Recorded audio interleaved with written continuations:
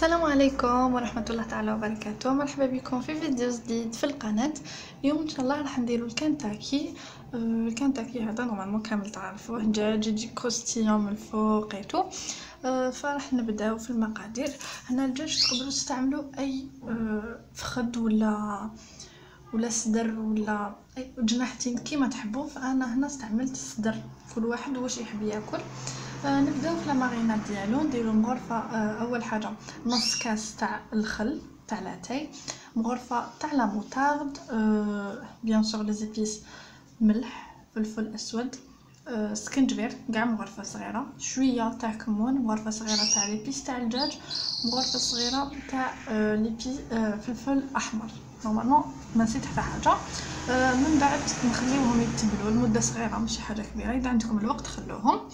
من بعد نغطسوهم في الفرينة. آه مور ما نكملو كامل هذاك الدجاج نغطسوه في الفرينة.